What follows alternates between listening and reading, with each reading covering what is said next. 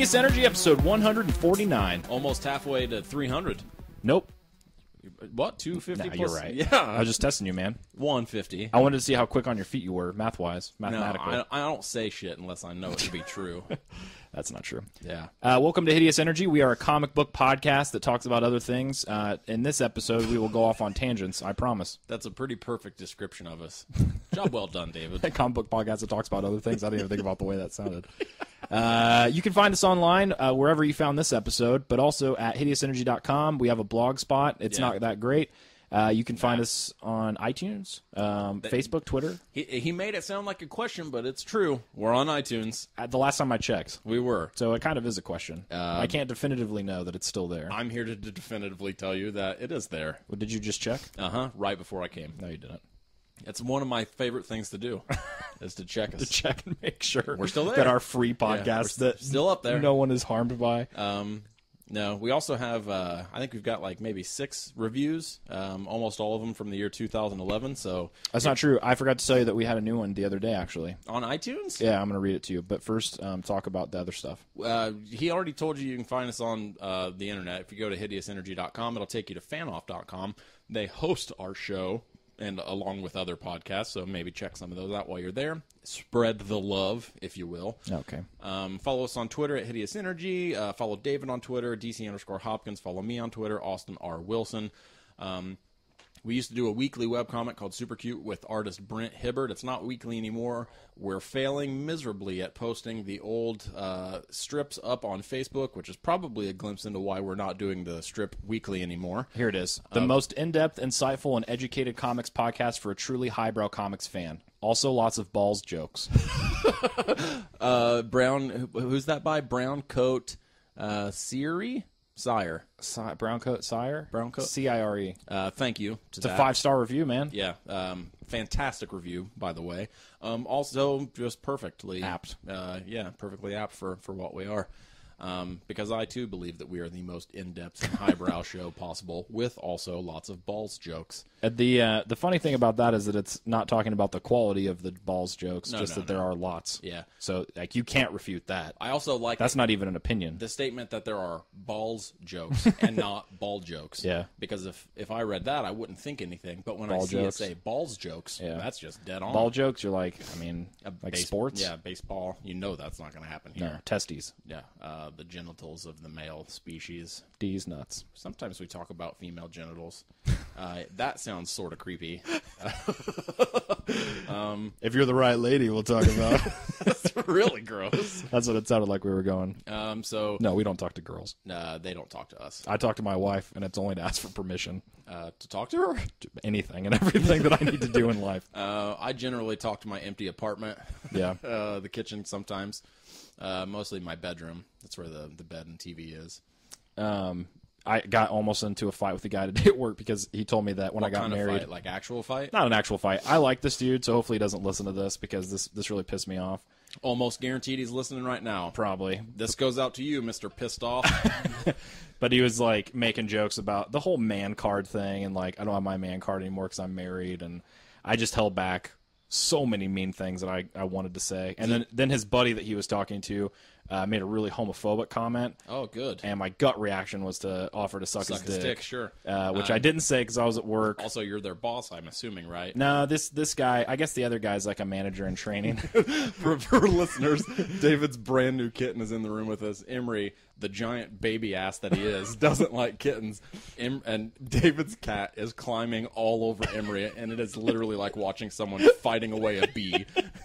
Emery, he was sm- Watson is his name. He was smashed in, into Emery's face. he's just the cutest little shit on the planet. uh, lastly, if um, you want to buy comics, we recommend that you buy them from Discount Comic Book Service. You probably already True. do because they're the biggest and bestest of Yeah. all the comics retailers around. Yeah, they're not the bully though. No, They want to be your friend. no, they want to hang out. Uh, Discount Comic Book, nope. DCBService.com. There you go. Um, you can go there. You can use our one-time use only promo code if you have never used it because it's one-time use only. I told you three times in that sentence that you can only use it once. I'm going to say it again. so don't be a sneaky. You can only use it one time, which means if you've never used it before, you still can. After then, you can't anymore. You can be sneaky. It just won't work. Um, Hideous eight is the code. H i d e o u s and the number eight. Uh, so make sure you use that. That'll get you an additional eight percent off. Which at first glance you might be like eight percent. That sucks.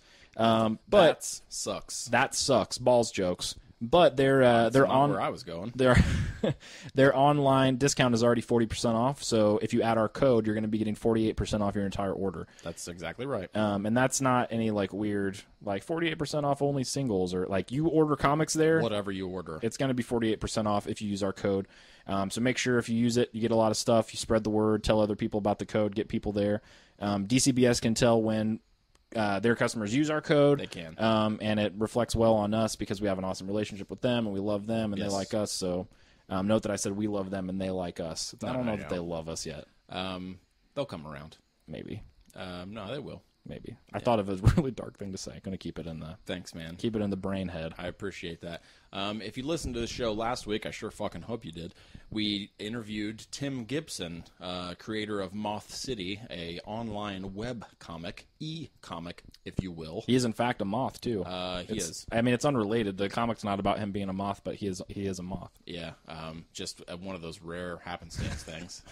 Well, isn't it? I think it's statistical. Like in uh, New Zealand, is it like one in every fifty people are born a moth? Yeah, Just like a perfect moth. yeah. The re- all, forty-nine of them are kiwis, and then that last one's a moth. There's no humans. It's just moths and No, fruit. I, kiwi- I know, kiwi's but a the way- bird. oh, is it a bird? Yeah. Do you think they're named after the fruit? Well, no. What's the? Am I is my am I freaking out? There's a fruit called a kiwi, right? Yes, there's a Yeah, fruit the called a kiwi. thing? Yeah, okay. That- but that's not what they're. That's not why kiwis. I assumed it was something completely. Di- I didn't think that they were named after fruits. They but love the kiwi fruits. They love it. well, they love the bird apparently. But we interviewed Tim Gibson. Uh, it was a super awesome conversation for us. We made a bunch of jokes about how he was living somewhere that was a day ahead of where we were time zone time zone wise. and not now calling him a moth. So Uh, yeah, so we're really just burning bridges. Yeah. Um, uh, first of all, Tim, shut up. I wanted to further burn the bridge. Uh, no, but um, Tim stopped by and he, uh, as you know, you can read Moth City for free on thrillbent.com. You can even go to mothcity.com and read it for free. But you can purchase the the singles, the the e singles, Yeah. uh, through Comixology. But you can also buy them through Tim's website. Uh, Tim, uh, gracious creator and awesome dude that he is, is offering a discount to all Hideous Energy listeners on all of um, his online content. Right. If you go to his site, mothcity.com, and type in the code Hideous Kiwi, K I W I, like the fruit. uh, you will get 50% off of any digital comics in the cart. And like the DCB service code, it's one time use only. So if you just want to check out one issue of Moth City, it'll only be 50 cents through him. Uh, but That's ridiculous. yeah, uh, you can get He's kind of dumb, man. Sort he of. shouldn't be giving away his comics for that cheap. Uh, you know what? I was like, that's dumb, but I'm going to do it for you. You're gonna lose a lot of money. Get ready. I'm gonna do it, man. Uh, he, you can get all five comics, uh, which is issues one through four, plus the Prelude comic of Moth City. and they're hefty. They're not. No, there it's there's a lot of content. Yeah. Not not uh, not only just the comics. I'm going to get to that in a second. It'll only be five dollars. Yeah. If you get every single thing that he has done for Moth City, it's a dollar more than a Marvel or DC book Yeah. that you're buying. That's not good. on his website only. Are you buying Deadpool? Then don't don't do that. Don't do that. Stop. Um, so, but also, um, they're they're high definition PDF files, and they all have author's notes and a little bit of bonus material as well. So that's another reason to go through Tim. Um, also, if you go through Tim's website through mothcity.com and use this code, um, Tim is going to get more of the money, and if you use this code, it will be severely discounted, but still. He's going to get something for the work uh, that you can read online completely free. So you don't have to buy it. Um, it's one of those things where you're supporting a creator that you love. Um, we recommend that you buy it. absolutely, You should. Uh, This is a, not only because it's great content, but this is just a fucking dumb deal. If Like, you- it's, it's dumb. if you haven't uh, listened to the interview that we did with him last week, then go listen to it. Um, if you've not heard about it or want to know more, that should sway you. If you're not already swayed by fifty cents per yeah, issue. It's dumb. Um, this this show goes up on um, September 25th. Yep. So starting today, uh, three days from now. Also, speaking of, since we're ta- we're dating the show, this uh, the show we're not going to be talking about that Shield show in case anyone's wondering. yeah, we haven't been able It's to. it's air, like it's getting ready to start in three yeah, minutes. we so can't watch it. So um, talk about it next week. We will. Um, so three days from now, September 25th, 2013, this code will end. It's three days only. Um, so if you want to use it, make sure you do it quickly in between that time, uh, that amount of time. And if you know someone who might like it, or you want someone to see it, make sure you tell them about it quickly because it's a very short-lived code. Three days from now, we're going to announce it. Well, and also like if you if you do have someone else that you know want to check it out, maybe just buy it for them. Maybe, like yeah. buy it twice. Well, five dollars for five comics is it's a great deal. yeah, that's nuts. Uh, five long comics with bonus content as well from from Tim Gibson. You definitely should do it. So Yeah. keep that in mind, guys. Uh, um, that's kind of it, right? What else do we got? I think that's it. Maybe. Um, I guess I guess we talk about comics now. I I read some. I didn't. It's gonna be interesting. It'll be weird. Read 'em and weep. All right, so uh, we're gonna talk about a lot of books that came out today. We are this literally Wednesday. Yeah, yeah. This day, So- twenty fifth. If you haven't headed to the comic book shop yet to buy your books, or ordered them through DCBS, or if they're not at your house yet, um, we're gonna spoil. You're gonna be pissed. East of West number six, uh, Saga number fourteen, Sex Criminals number one, and Rat Queens number one. Correct. All those are gonna get spoiled. And Yeah. Thor, uh, God of Thunder number thirteen. Forgot to read that one. Did you? Yep. Okay, not going to talk about that. that came out last week though. Um, it was a sweet issue. Ron Garney did the art, and it's about the. Is it inked? Now, no, See, it still looks good, but it's But that was the one thing that I always remembered about Garney stuff is it was it doesn't look inked. Never inked. It says it says artist, and then it says color artist for the other for the person who colored it. Obviously, Yeah. um, there's not an inker, which I mean, obviously could mean that Ron Garney inked it too, but it doesn't look inked. It looks like his pencils have colors over them. Well, from what is, I remember his art's good and his pencils are tight. From But- what I remember, they don't ink his stuff because of speed, or either either speed or because it looks better uninked. I can't remember because I don't know. It hasn't been inked for a while because that all of Wolverine Weapon X, Well, that Sergeant Rock stuff. he didn't draw that. You're right. That was uh, That's um, Tucci, Billy Tucci, yeah, the Tooch. the Tucci. Yeah, the comics Tooch. um, would, did Tucci do that Scar stuff? That's Ron? Garney. That was Garney. Yeah, but he did Wolverine we- Weapon X with Jason Aaron. Remember that? Yeah. series that had do. like laser claws and I do. Yeah, stuff. That was a good which series. sounds dumb, but those good. laser claws were cool. Um, none of that's going to get No, reviewed. we're not talking about any of that. First book up, uh, Rat Queens number one. Um, this is a book that um, had you heard about this book before today? Yeah, Okay, I didn't know if you'd been following it. I've been following it for a long time. I hadn't been following it as I heard about it from you. Oh, okay. It's Um, by Kurtis J. Wiebe, uh, who wrote Peter Panzerfaust, Uh-huh. right? Yeah. Um, illustrated by Roc Upchurch. Never heard of him, although I like his art. I do like his art. Like if it is in fact a man. Yeah, it Um, might be a girl. We don't know. letters by Ed Brisson, um, and uh, uh, he colored it too. Roc Upchurch did because there's not a colorist. Oh, Um, okay, so right off the bat, everything that I had read about this book yeah, made it sound like um, it was people, playing a game. yeah, playing a game. And I didn't get like no like No, like I know, but playing not- a tabletop RPG Yeah. Oh, I like remember- and you seeing their characters and everything. I remember you. and I guess it could still be that. it could. I don't think it is. I don't think it is either. So If- like you know what? If it is at this point, I would be pissed. I wouldn't be pissed, but it was hard for me. Like when you go into a book with expectations, obviously any book that you read, even if they're minimal or at Yeah. least about what you know. I guess holding that against this book though is Oh, I'm not. I'm not holding it against it. I'm just saying like it was a it was a weird read for me because the whole time, Yeah. I went in with this conception that they gave to me in like interviews and in promotional stuff that I had read and seen everywhere else That that, it was, was- a group of friends and their characters, and it's I don't think it's that. well, it was dungeon raiding, right? yeah, yeah. Um, that was what I had seen you either tweet about or you said something about. I can't remember. and the the art and the writing and the, the excerpts and stuff that I'd seen looked really awesome. Yeah. And it's it's an all female cast, so I was No, excited. not all female cast. The main, the main the main, the Rat uh, Queens protagonists are, are females. are female, so I was I was pumped about that. So I, I honestly probably need to read it again now, knowing that it's not what they advertised it as. well, see, I Which I, I'm not going to hold against Wiebe, obviously, because I, I have to judge the book based off of the book, not off of the lead up. yeah, But it was really strange reading it because I, I kept waiting or looking, and I was like, I don't know that this is what I thought it was going to be. I'm interested to see what you read, um, just to see like how they made it sound. Um, I remember. Uh, I don't think it was anything where they where Wiebe's in an interview like he's like, yeah, they're playing D and D. make sure that this you understand that these are real people with fake characters. like it wasn't anything like that, but it was. It, it, they really always punched up the idea of um, role playing games and role playing Yeah. and having characters. So I mean, I guess they still could. I guess they could be. Anyway, I mean it's it's a fan. It's like a fantasy action comedy kind of. Yeah, Would you describe yeah, it as such? it is. Yeah, Um, this is by far the funniest book we read out of the uh, the group of stuff that we read, which is going to play a part into my review of a later book. Um, it's uh it's set in a fantasy world, um, pretty Dungeons and Dragonsy, sort of oh very um, a, a big mixture of all of those uh, different games. Yeah. Um, uh, or different worlds. You know, it's not not cliche um, in the sense that well, it might be.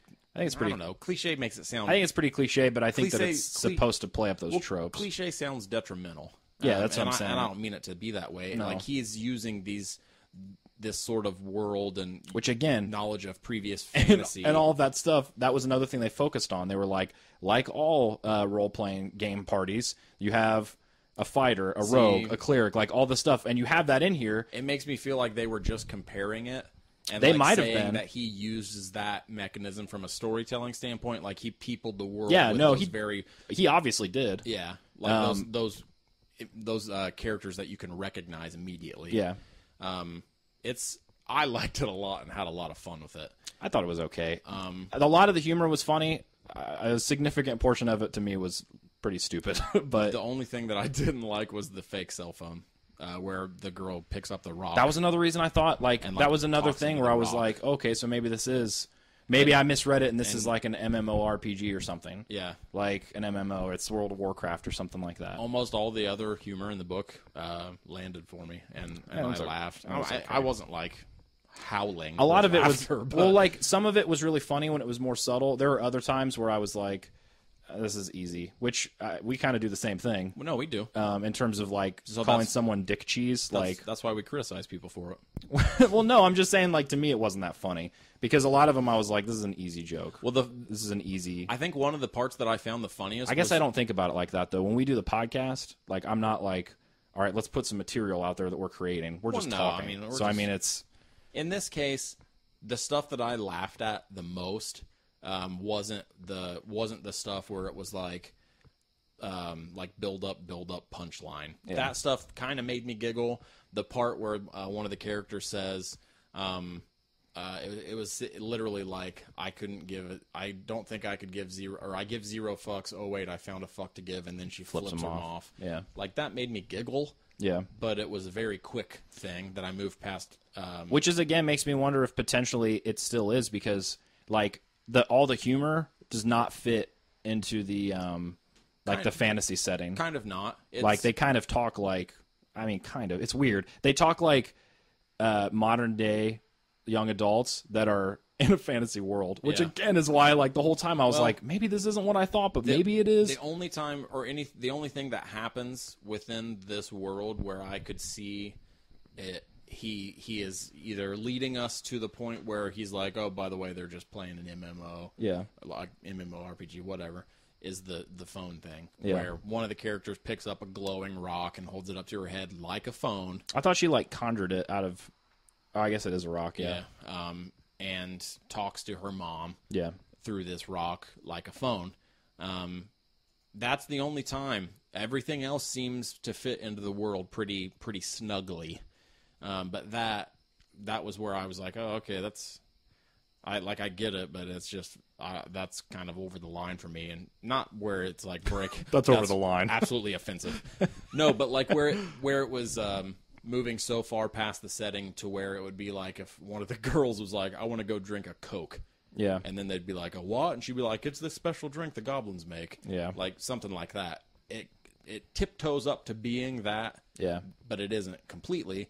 I laughed a lot um, during the book, and I especially laughed when they were in the prison, and I think his name's like Mister Silver is giving out the the assignments to all of the teams. Yeah. and the names of the teams and the characters on all the teams made me laugh, and they it wasn't one of those like it wasn't specifically set up to be a very obvious, like I was saying earlier, like build up, build up, punchline joke.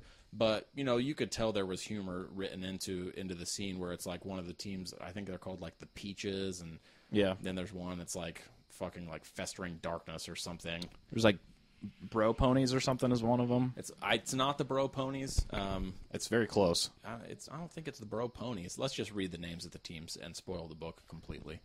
Um, I'm trying to find it. page one. Let's read the. It's Brother Ponies. yeah, Rat Queens, Peaches, Four Daves, I, yeah, I liked that. Brother Ponies, and Obsidian, Obsidian Darkness. Uh, Obsidian Darkness got assigned to go clean the the latrines. So, Yeah.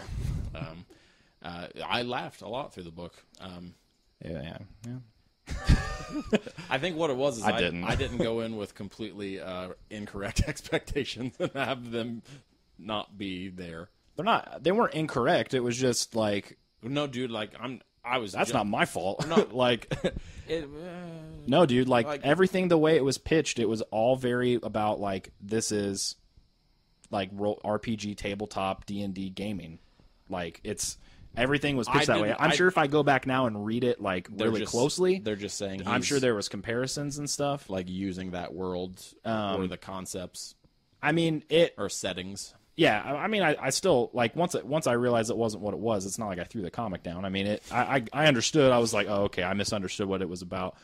Um yeah and i laughed at some of it. I laughed at parts of it. Like I like i said a lot of it was just really easy easy jokes to me so that it didn't really catch me. Some of them they did though. Well, it's um, I like the four main characters, and I, I like the way they interact with each other. Uh, like we said at the beginning, they're four girls.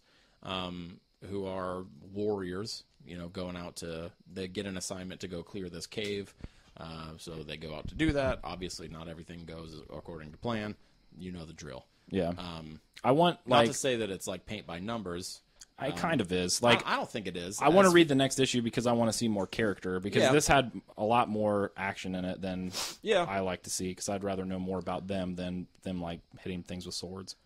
I, But- I don't know. I can't say you won't get that, but I get the feeling that this is going to be a hitting things with swords book, Yeah, um, which is fine. Um I had fun with it. Uh, it is only the first issue, so the amount of character that he can put into the first issue while still setting the story up is going to be minimal. yeah. Um, but I, I liked it, um, and I liked the art a lot. the art's the best part about it for sure. Um, his his art is good, man. It reminds me of, a little bit of Fiona Staples. It's He's kind got of Fiona Staples. he's got a thing going on there. Staples-esque. It's not exactly obviously, but no, um, I like his art a lot. yeah. The uh, Did, you, did the lettering bother you? no, I like Ed Brisson's lettering. I do too. So What'd you uh, give this out of ten? Five and a half, six, something like that. really? Yeah, it's not it's not a bad book. I said that from the beginning. Uh, the only reason I asked that is because I give it a six. it's not a bad book by any means. It just um, I, I want to read it again, like going into it with a different headspace. But the the I mean, the humor's not going to change. It didn't grab me like it did you. it might. I don't know. I mean, there is a possibility that uh, because you were expecting one thing and you didn't get it, that it changed your outlook of the book. I'm not saying it did. That is a possibility. I mean, ultimately, I'll reread it and find out. Ultimately, it's not going to alter it a lot because it's like the only thing that it would alter is that there's not characters behind these characters. Yeah, not in this issue. So I mean, it's not like I went into it thinking like, oh, I thought this was a sequel to Stargate. like it's it's not like I was wildly off base or off course. I'm happy you didn't think that. if you came to me one day and you're like, "Dude, this book is not a sequel to Stargate," and I was like, "That book is not." That's pretty in pink, man. Yeah, that's, its own um, thing. You do you think everything is Stargate? what if I did? um, I guess I would try and love you for who you are. I would have a lot to watch though. You would. Yeah. Uh, a lot of it subpar, as what from what I can tell. Have you watched any of it? Uh, never. okay. Emery likes it. I just think it looks awful. Like the the quality of the show looks so low. I watched um when I was a kid, I watched Stargate and then they had in Brazil like it was before the advent of the internet being what it was too. Yeah. Um but also in Brazil like What it was like, it's not around anymore. but like in Brazil they would package stuff at the video stores as um like series. or like sequels. Yeah. So like I rented what I thought was the sequel to Stargate, which when I was a kid I didn't realize I never made a sequel, but it SG One. well it was the pilot. It was like an extended pilot to the TV show, so it was like an hour and a half long. So it was a movie. Um, well, no, but it was the pilot to the show. Like it wasn't a movie that they Well, like yeah, put out in theaters. Yeah, but that's movie length. Yeah, but it wasn't a movie. It, it was yeah. created for television. So, They make movies for TV. uh, so what are you wanting to what are you wanting to argue about? It wasn't a theatrical film, is what I'm saying. I thought it was Oh, a. yeah, but that doesn't mean it's not a movie. I don't have enough semantics. patience So- to argue with you about this. Let's go on. But I watched the whole thing thinking it was a sequel. They did the same thing with Mortal a- Kombat. is it a prequel? I don't know what it is. I, I think it's like a kind of a sequel, but they ch- I read about it the other day actually. Well, I know They that changed they some changed stuff. things like when They did the same thing with Mortal Kombat. There's a Mortal Kombat TV show, I remember that show, and I thought it was um, Mortal Kombat 3, and I remember the way it was labeled on the box. I even hated the films, like the the movies. to call those Mortal Kombat things films, Whatever, man. Those are great. Well, the first one is. I hated them. Um, and they, Really? You didn't like the first one? No. Um, Were you too old? Uh, I think the quality was too low. Is that what the problem was? Is that it was just bad? No, because you like lots of bad stuff when you're young. Uh, never me. Uh-uh. Okay. No, I You're right. Monster Squad's great, man. It is. It's fantastic. Yeah, I'll fucking is. fight to the grave with It's, anyone it's who great, says dude. it's not. It's so great. Yeah. I look. It's not my fault. You can't detect quality. No. It's, Mon- it isn't your fault that I watched it when I was like 21. You're right. That's not my fault. Monster Squad is one of those weird '80s movies um, that is really, really liberal with the word faggot. Oh, really? Yeah, um, just like uh, uh, Teen Wolf was. Like He only said it once, but Well, it was yeah, enough for us to be like, no, holy. like li- liberal in the sense that they're letting protagonists that you are supposed to like say them, um, because you and I were watching it, and Does he say, he says fag? He does. Yeah, Is that what it is? Yeah. I didn't think he said faggot. Um, in Monster Squad, That it- word hits me like a Oh, yeah. sack of bricks. in Monster Squad, it's one of the one of the villains who says it. Um, one, like one of the Who does he call? It's uh, Dracula. No, it's one of the little kids. He calls one of the little kids? No, dude, one of the little kids says it To who? To one of the uh, protagonists, one of the main characters. Oh, really? Yeah, very beginning of the movie. Is the is there a connotation that it's gay, or is he just being like, "Don't be a dickhead," like saying it in that way? Um, Because when I was a kid, I used to say stuff was gay all the time, just like a Well, lot yeah. of little kids did. I'll because quote it to you. Um, uh, Horace, uh, who the villains call Fat Kid. Um, like I said, it's good. Yeah, it's great. It's quality writing. Um, Horace is reading a comic book, and then uh, the kid who plays Ben's brother in the Wonder Years, um, Ben Savage. It's I call him by his first name. Okay. Um, I forget what his name is, but he was in Pee Wee's Big Adventure, and he was a big actor in the '80s. He still acts um, now. Um, he walks up to Horace. He rips his comic book in half, um, which is fight time for me. uh, he rips his comic in half, and then he takes his um, Snickers bar away from him and puts it on the ground and steps on it. Um, and I think Horace calls him like a jackass, or he says something to him, and that kid pushes him and goes, "What'd you say, faggot? What'd you say?" Oh, okay. Um, it is part- so in an acceptable way, if you say it that way, it's okay to say, right? in the '80s. Uh, apparently, they were not too worried about. Man, that's it. weird. isn't it? I mean, I I guess like there could be words that we say now that could totally change. There's a lot of them. I would imagine that will probably change. I really hope um, we're not saying pimp as much as we are now. in In, like- it means something. well, it does mean something. Well, I know, but I mean- something completely different. Well, no, I know, but I mean, like in the future, it means like child molester or something. Oh, yeah, We're like, that's so pimp. Oh no, yeah, you come back to these these episodes and somebody's like, "Oh my god, they say pimp and righteous every other word. I can't believe these guys aren't in jail." Uh, All right, next we have Saga number fourteen. yeah. written by Brian K. Vaughan, illustrated by Fiona Staples. Yes. Um, it uh, has letters and design by Fonografiks, who I was so happy that after issue 10, they still wrote the number out on the cover. Remember when they Oh, first yeah. issue started coming out? You were it, upset says like that. chapter 1 written out, O N E. Yeah. And I was like, man, I wonder if they're going to get up in the double digits and stop doing this because I love how it's written out. They're Yeah. still doing it. So uh, I give it a 10. I'm happy you got what you wanted. I give it a T T E N out of that because I 100% wouldn't have noticed that at all. on the cover. No, Um, the cover has that donut moon, by the way. it does. I, you know what? I thought about that as soon as I uh, looked at the issue. I didn't notice until just now. Um, wait, are all these book image books? Yeah, that's why we're they're all that's we got them from the FTP, man. That's exactly what I was just thinking. Jesus, I said that at the beginning of the segment. did you? Yeah, the, all these books come out today, so it's going to be spoilery. You didn't say that they were image books, though. Well, no, but I mean, we've I- said that in the, a ton in the past. Where if we ever review a book the day of, it's because we got it from Image. Yeah. Uh, well, no, I was looking at the cover and I was like, "Oh, Donut Moon." Brian K. Vaughan was drunk. Funny. That's a good story. my thought. That's a good story, man. you guys wanted to know what else I was doing. Um, what'd you think about this issue of Saga? Uh, I liked it. Um, I thought it was good, man. Um, it uh, it definitely is more focused on character than it was on like the overall plot. There were some little what the the series or the for the series previous yeah. issues? because for the for the series. Oh, um, because it's not there's a little bit of like forward movement at the very, very, very like basically like the last two pages. Yeah. Um, but its focuses more on the interaction between the will and I forgot her name. I don't remember it either. It's uh, uh the main guy's ex girlfriend. It is. don't remember anyone's name. His name's Marco. Marco. All I could think of was Marcus. Marco. Um, and then their interaction with the slave girl, who they've named Sophie. Uh, then you got a lot more interaction between um, the uh, unnecessary uh, character who is a writer. he's not unnecessary. Yeah, it's gonna say- unnecessary that he's a writer, other than Brian K. Vaughan can't help himself. That's not true. other than, I mean, he wrote the books. Yeah, I'm just pointing out that We don't know that it's unnecessary. BKV writer. can't help but do this stuff, and it drives me crazy. Only at this point because we know that he loves doing it, and so far in you- everything he's done, what do you he's mean?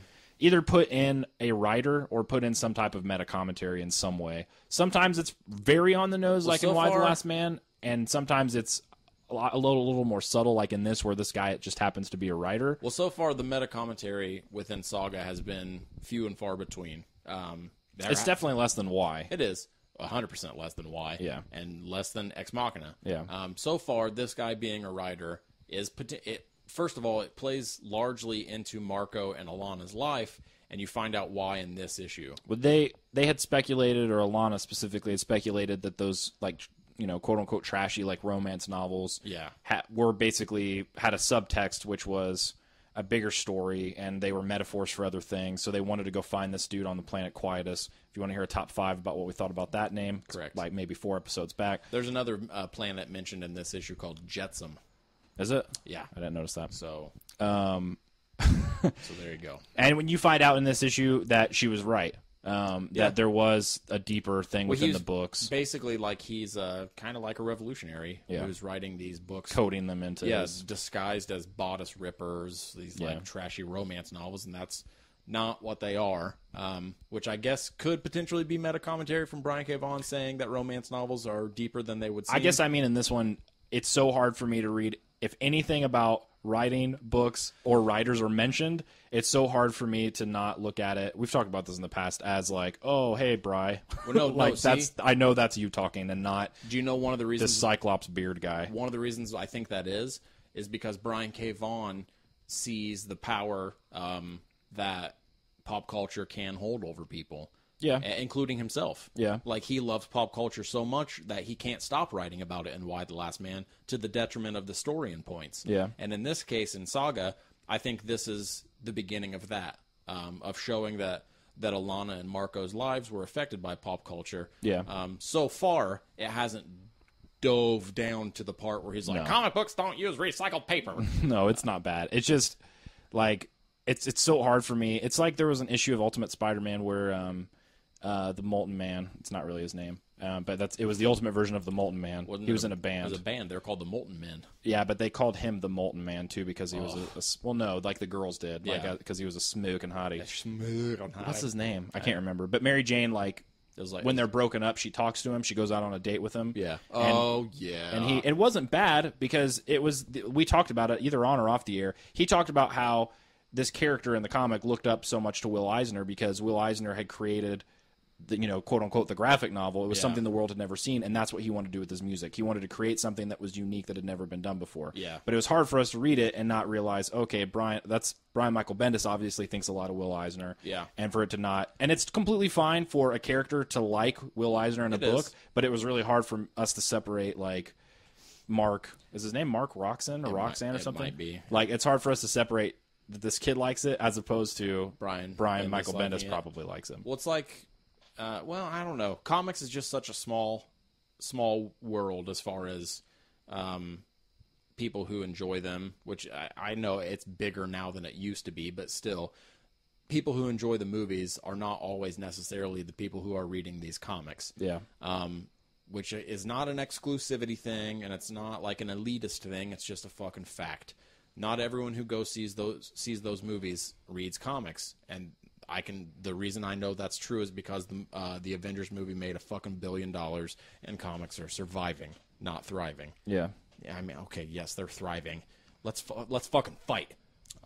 Who- said they weren't? What? It was me. I was answering myself. Oh, I didn't disagree with you. they're thriving now more than they ever have, but still. Oh, I don't think they're thriving. I agree. Well, they're thriving in a sense that they're not on a very, very Failing. on a very small scale, where like thriving means surviving. then I agree. See, I don't think they're just surviving. No, I mean, I don't think that we're like in the last days of comics. No. but it's not the '90s. I mean, no. we're not selling. Well, we don't want it to be the '90s. I mean, in terms of sales. Well, sales, we do want that. Yeah. We want the sales from the '90s. We don't want it to be sales just because. Pockets on people's faces and stuff. I would read that, I guess. if you tell me why those pockets are there, There's no way that the answer would be Something satisfying enough that you would be like, "All right, let's do it." pocket face. um, so yeah, in this issue, um, we meet. I forget the guy's name. It's Brian Michael Bendis with one eye. It's Brian K. Vaughan with one eye. Nah, that's not. That's not how I read it, man. Oh, this is supposed to be Brian Michael Bendis. Yeah, you read it wrong. Is the problem? um, it's an interesting issue. Um, two of my favorite parts in it dealt with emotion. Um, Um, I'm gonna be uh, straight up with you and tell you that I cried at uh, something in this. if it was probably the part where It has to be. There's the only one like really heavy emotional scene in the book, well, and there- that made me cry. There's two heavy emotional scenes in the book. There is one that's heavier, um, just strictly from. Uh, well, it depends. I don't want to talk it- about it. I know, like, I don't want to ruin it for people because I thought about like talking about well, it. it's a giant spoiler, so if you don't want to hear this, read the issue first. Um, Maybe we're talking about different things then. I think we're talking about the same thing.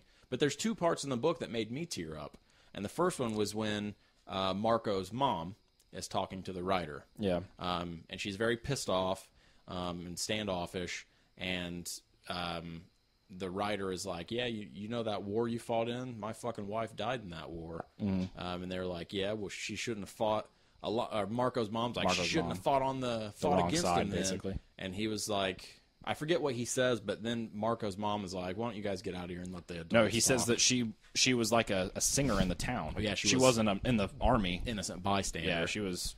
She got killed. So Marco and Alana and the ghost nanny leave with their baby, um, which the writer puked on at one point in this issue. That made me laugh because I was not expecting it. Me either. And when I first saw it, I was like, It was a ceremonial thing. or it was like his race Yeah. did something No, that's what I thought too. Yeah. because she's talking about it being a ceremonial thing that the babies are on other planets yeah, though. bathed. Yeah. So then he fucking barfs on her, and it's because he's drunk. The next panel, Fiona Staples did a good job with their faces because it is just Oh, yeah. pure terror that they just watch this guy throw up throw on up a child. baby. They all react pretty well to it.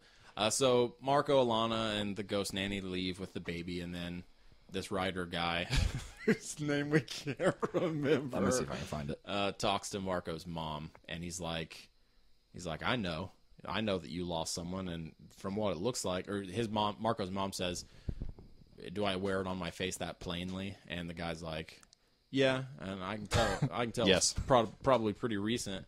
And he talks about how his son dying um, was one of the worst thing that ever happened to him. Well, she's Um, she she's she's assuming that he's talking about the son, and he says, "Don't get me wrong, that almost killed me, but that's not what devastated my life for the rest of my life. It was my wife, the first person I ever loved, getting killed, and obviously their son hasn't died, but like."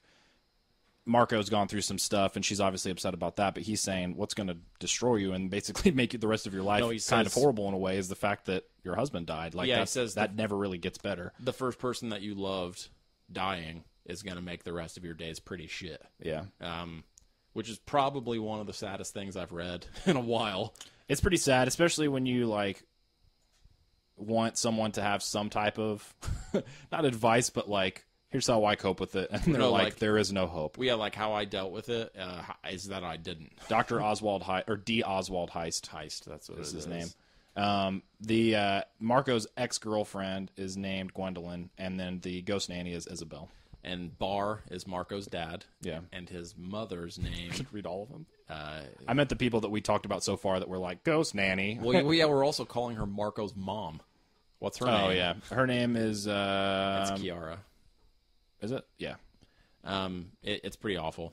Um, so after that happens, Oh no, I think it's Clara. Clara. I think that's an L. Yeah, Oh. it is. Um, so we go back to where uh, the will is, um, and he kisses um, what's her name, Gwendolyn, um, without her consent, because he is hallucinating and seeing the stalk. Maybe, Maybe. Um, maybe hallucinating. I don't know. Like it is the stalk. he is seeing the stalk. I don't Maybe know he's if it's hallucinating. or if it's her ghost. pissed about it. She uh, kisses him back at first. Does she? Her eyes are open, and the next panel, her eyes are closed. So my assumption in that, like her eyes are open in shock, Yeah. and then the next panel, her, her eyes, she doesn't look shocked, and her eyes are closed. Well, the Will is a pretty big fucker about it, actually. Yeah, I mean, He's like, oh, yeah, well, you fucking prudish. He's like, you. It's not my fault you guys are so uptight. Yeah, he is. I mean, to play devil's advocate, he is seeing a naked Spider Woman who's telling him to kiss people. clearly is so not- he's not in a good place. When maybe we it, we don't know if that naked Spider Woman is technically really there or not. No, I mean he's seeing her. He is. She may not be there. She might not. Yeah. Um, and also, it's his ex lover, sort of enemy. It's fucked Yeah. up. The stalk. Um, uh, actually, him kissing a girl against her will is not even the most fucked up thing that happens in that whole scene. It's him fucking maybe hallucinating a giant Spider Woman. naked Spider Woman. Yeah. Yeah. Um, so then we see Sophie, the former slave girl from the planet Sextillion. Don't talk about that. That's the thing I don't want to spoil. Uh, why? I because because the way spoiling the whole issue. Well, I know, but the way it hit me, like seriously, was so like like special and like Yeah. hit me emotionally that I don't want to ruin that for people. I want people to experience that page. It is just a great page of comics. You're like it's a assuming that full they're page. going to listen to the, the rest of our interview. What do, you, what do you think we're doing? Brian K. Vaughan's here, right? They're going to listen to the rest of this review and have all of that shit spoiled. And I mean, at this point, not. I- I I don't really care how they're listening to it. I just don't want to spoil. I don't. I I would rather that be experienced the way it's supposed to be. That particular thing, the way it hit me was so specific to the panel progression, the lettering, the art, the story, everything coming together. That like I'd rather just let people experience that. You'll know when you get to it. It's going to be the only thing we haven't talked about. Not true. the entire first like third of the book we haven't talked about. That's true. I disagree with you, and I'm going to agree to not talk about it. you think it should be experienced by someone telling you about it? No. Um, but I don't think we would be ruining it or taking it away from someone. I just don't want to. That that moment was like it seriously meant so much to me, and it made me so sad slash happy at the same time. I wouldn't and I wouldn't want to rob that from someone else. Like I wouldn't want to wouldn't would not want to run the risk Would of immediately altering that for somebody. what happens immediately makes Sophie's character infinitely more interesting. Yeah, um, and a lot harder to comprehend uh, who she is and how things she's been through.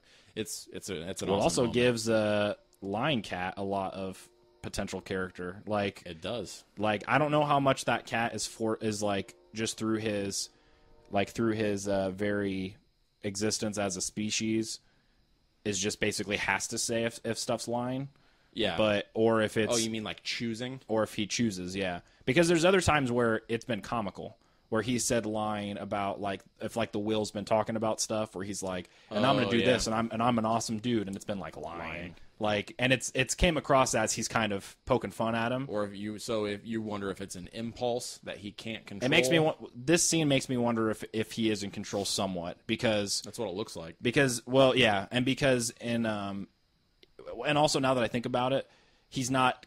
If he was if he was saying the word line every single time somebody said a lie, he'd be saying it all the All time. the time. Yeah. And so BKV has kind of written it into where it has some type of impact. Yeah. I don't know. It was a really cool scene. Yeah, it was a really cool scene. It's it's it's one of my favorite moments that's happened so far. Mine too. in the series. Mine too, without a doubt. Which is weird. It is literally a page, Yeah, yeah, a single fucking page. one page. Um, what would you give this out of ten? Well, and then the Well, beginning yeah. of the book, Alana's stepmom is being interviewed by those two reporter, like tabloid journalist Yeah, guys. she has butterfly wings. Yeah.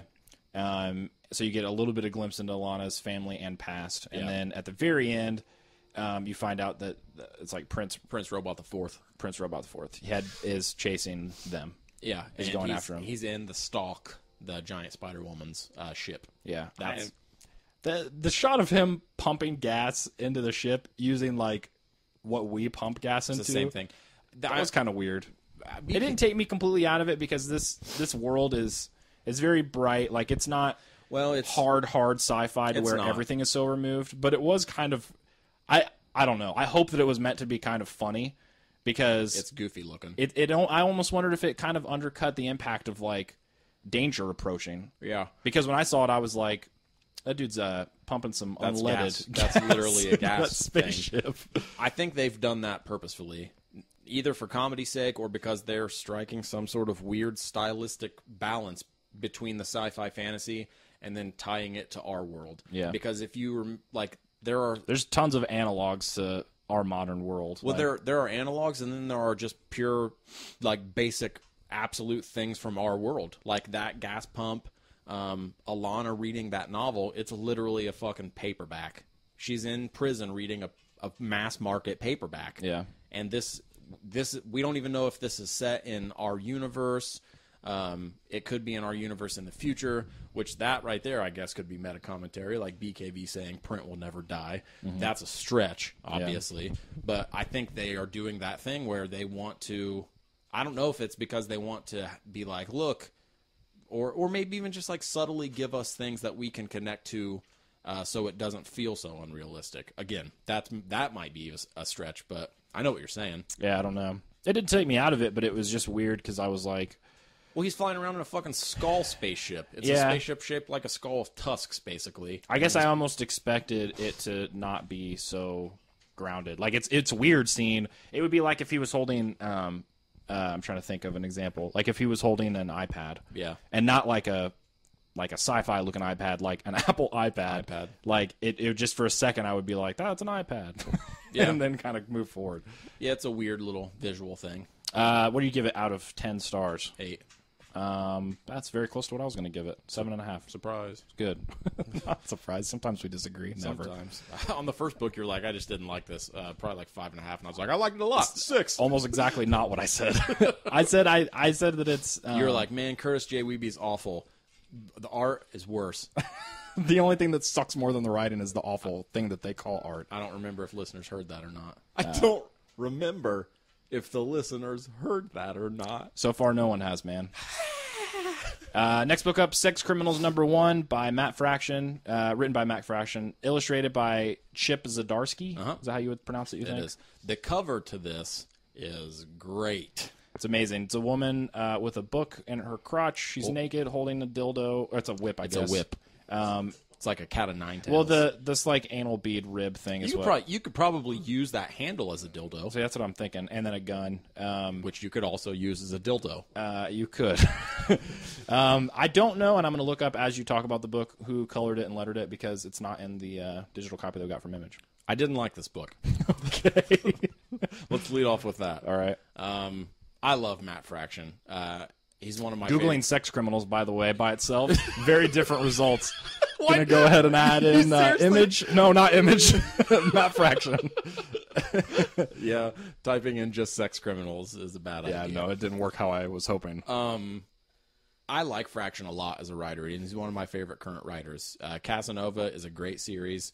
Uh, it's something that I didn't connect with right away, but grew on me after I read more of it, and I fucking love it now. His Iron Man stuff, amazing. You know, he's written a lot of great stuff. Um, this isn't one of them. I definitely don't think this is among his his uh, his worst stuff by by any means. It's but not. It's not. It's not terrible, but the concept it's is just clearly so- not for me. It's just so goofy. Bas- essentially, the concept of the book is that when this woman uh, named Susie has an orgasm, she stops time. Yeah. and um, Enters into this like sort of in between zone. everything's like dulled out in terms of sound, Well, and it's- it's, like it's- bright and kind of hazy It's very pretty. in terms of visuals. Yeah. And at first, when I first read the book, I own, I thought it was just a way for them to represent orgasms visually, Espe- maybe even just specifically female orgasms. yeah. Um, because you see Susie and this guy having Well, sex at, in the first, bathroom. yeah, at first you don't realize that she stopped time. The first time it happens no, to her when she's a very, kid. Well, no, on the very first page it happens. It's either the first or second page where they're in the bathroom. That's yeah, the first time you see but it happen. but you don't know that time stops. no, you don't know what's going on. It just looks like they are both uh, climaxing. Yeah. Um, I thought you were gonna say it looks like they're boning. It does look like that because they, are. are boning. They're having sex uh, of the heterosexual kind. Yeah. Um, it- it's very pretty. The colors, the design of it, it's it's very visually attractive. Um, Emery's giggling over here. The um Okay, here's the thing. The concept once I realized what it was, I was like, Uh, that's where I was lost. all right, dude. Like it's You know what? No, before that even. I was lost before that even, I think. I I like I liked her character. I do too. and I liked reading about her growing up. Me and too, I liked reading absolutely. about her interactions with other people. We talked about the word faggot and how awful it is earlier. Yes. This book is a good example of Using um, it. someone using it in a well. There's only one way to use it, I guess, in a bad way. derogatory way. I mean, we're not using it derogatorily Well, so much. but as we're talking about it 'cause it is do- ref- derogatory. referencing it. Emery's making your cat draw on his iPad. Um, and uh, all that stuff was great. I like the way he wrote the book. It's kind of Hawkeye-ish in a way where it's it's kind of tongue in cheek and a little bit more personal. I think he strives for it, but doesn't achieve it. It's definitely not Hawkeye. It's well, I don't mean strives to make Like it like Hawkeye's not in this book. y- You're right. I thought he was going to be, Matt- and I was very disappointed. Matt Fraction's largest failing is that Hawkeye's not in this book. No, Um, I think he he does write it to be funny. Yeah. Um, I think there were a couple places where I specifically um, immediately signed off. Um, it was where the narrator was constantly promising that the jokes were coming. Yeah, I, I didn't dig on that too much either. Well, that right there is me. I see that as she's talking to me, the reader.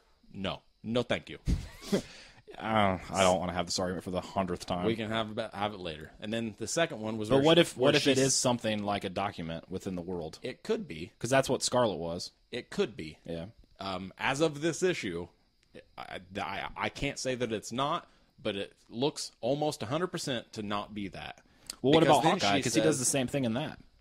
Where he says, what? Wait, this looks bad, or, or hold on, this only looks bad, or whatever. He says it a million times. He says, I forget how he says it. Uh, um, this only looks bad. I think is what I, it I is. can't remember what the phrase is. He uses it a bunch. Uh, who knows? Might be the same thing. I don't remember right now. Um, No, but I'm saying, why does that? I don't. I can't remember what he sp- he actually says in Hawkeye. Um, that's what it is. It's this only looks bad. Like he says it at the beginning of the first issue, beginning of the second issue. I think all the way up through like the fourth. For some reason, that doesn't sound right. It doesn't matter. Let's talk about sex criminals. I real know, quick. but answer my question. Why is that? I don't remember if that's what he says. Is what I'm saying is I can't tell you that that's different because I don't know if he doesn't say that or he does. He does. I'm telling you definitively that he does. I'm saying we're, he's telling us, look at this scene that we are seeing in the comic. Well, how does that differ than this, where she's saying like, I don't know if that's what he says okay, why can't you believe me? because I know that it is. because I want to see it. Like Okay. I just want to see it. All right. In in sex criminals, she says, um, with a little help of some editing, she's like, and with the help of some editing, we end up here. And that was another part where I was like, oh, don't don't be like, And that's how we edited out these comic book pages. yeah, But she doesn't. She doesn't say that. no, Um, yeah, and that stuff's you. Like, No, that's what I said. Like specifically me, like when I interacted with those things, I was like, oh gosh. All the stuff about her growing up, I didn't think it was going to be, and then I had this power that was brought on by by coming. Um, and then when it made that turn, first of all, that's when the title made sense to me, um, because then I was like, oh, literally, sex criminals. Yeah. you're not. They're not like stealing sex, but I, I get it. yeah, Um, and then there was a, I don't know, man. It was like maybe like two pages where they ran through all these sexual positions, and it just didn't. It didn't hit for me at all. I thought that part was kind of funny. It was, I was only supposed to be for comedy. Yeah, it was. Um, it it didn't land for me at all. I was just like, all right, I just I want to get through these panels. It reminded me a lot of. Uh, I don't even think Fraction wrote it. It was Jason Aaron, wasn't it? That Immortal Weapons, where he was like, the slap of a thousand ball sacks or, or something like that. Yeah, it was the Fat Cobra issue. Yeah. Um, I don't know. I ju- it, it fell short for me. I, I wasn't interested in learning about them fucking and then going and stealing things. I'll read another issue of it, but um, it's not it's not amazing. I the the concept, the main concept of it, isn't that interesting to me. But I didn't think the writing was bad at all. I thought the writing was good. I like Zdarsky's art too. I do, Um, too. His art's good, so it's it's definitely one that I'm more interested in in terms of the creator-owned stuff that Fraction's doing right now. It's a lot better than Satellite Sam. Um, so I I want to read more of it to kind of see where it goes because he's enough of a unique voice that I want to follow it. He is a unique voice, and this is absolutely a unique book. Um, it's pretty easy to say there's nothing else on the shelf like this, um, which I don't know. Like the concept of of them being a, like of them showing sex or or like dealing with sex in the book, it almost seemed like they were shying away from from being graphic about it. I didn't think so at all. it was a pretty graphic book. Like the the only we see we see genitals like once. A lot more than once. Really? yeah, at the end when they when they have sex, um, That was the he- o- that was the only time I remember seeing any actual nudity, and not like I was like, yeah, Yeah. gotta see some nudity. there's a lot of nudity in that scene. And then, um, I mean, the stick figure thing. Obviously, there's nudity Well, yeah, there, yeah. I meant like uh, like photorealistic drawn bodies. um, I guess I don't understand what your point is. it just seemed like they were framing it to, almost like they were publishing it through like Marvel, where it's like, here's this naked person, but he's either in shadow or he's framed so that something is covering him, or like here's this girl with like hair covering her nipples. Um, or are you saying it as like a criticism, like they shouldn't have, like you felt like it was sugar coated? yeah, kind of. I mean, when that girl, uh, quote, rubbed one out through her faucet in the tub, I immediately didn't think that they were sugarcoating anything. Like that set the tone for me from the beginning that it was going to be pretty Well, see, it's frank. It's such a weird thing to say because it's making me sound like I'm like, show me everything. like, let's see. Let's Well, no, I don't mean that, but I mean like, it, um, or the they- idea that they were like shying away from it. Because I didn't think that at all. I thought that they were pretty upfront with it. they're frank. Um, it's just a, it. It seemed almost like visually they were um, limiting themselves. It's such a hard thing to talk about You might sounding weird. You might just be a sex offender, man. Maybe. no, like that scene. Uh, Maybe this was good to talk about because you we're realize some crossing borders. No, like um, it just seemed like they were um, not limiting themselves so much as trying limiting your boner. limiting my pleasure. Yeah. Um, uh, I felt very. Un- Don't draw that, Emery. I felt very unpleased. Um, no, it's just it's I, especially from a book called Sex Criminals, and, and and I've also seen stuff that Matt Fraction has tweeted about this book, where he's like, I got the word. It's seriously like cum bubble or like something really gross, like grosser than that even if I remember. I mean, if you want to read the word cum bubble, man, it might be an issue too. It might be. if that's what you want. Well, I know. I know. There's like some dildos coming in issue eight, from what I read on. It might have been Zdarsky's Twitter, but it might have been Fraction's. It's a dildo too. on the cover, dude. Uh, yeah, it's not necessarily a dildo as much as it's a whip that that you could fuck someone with if Yeah. you wanted. Easily. Um, you could also use that gun as a bong if you wanted. Yeah. Um, Can you use a handgun as a bong? a handgun? Yeah. Sure. Okay. what? What was what's the movie where the dude's Narc. narc? yeah, that's Yeah. it. He smokes weed out of a shotgun and accidentally blows his own fucking head off. It's dark, but the funny part is when it cuts back to Ray Liotta, he goes, he does that Ray Liotta laugh. yeah, he does. um, I, I don't really have anything else to say about this book. Uh, I give it a six. Really? Yeah, That's weird, man. about the same. About the same experience that I had with um.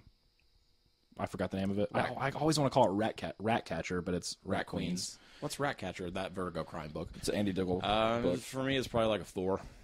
Uh, last book up, East of West, number six, written by Jonathan Hickman, illustrated by Nick Dragotta, um, colored by not Rus Wooton, uh, Frank something, Frank Martin, and lettered by Russ, Rus Wooton. I feel like this is the book that we're going to have a hard time talking about. Um, I have to read it again.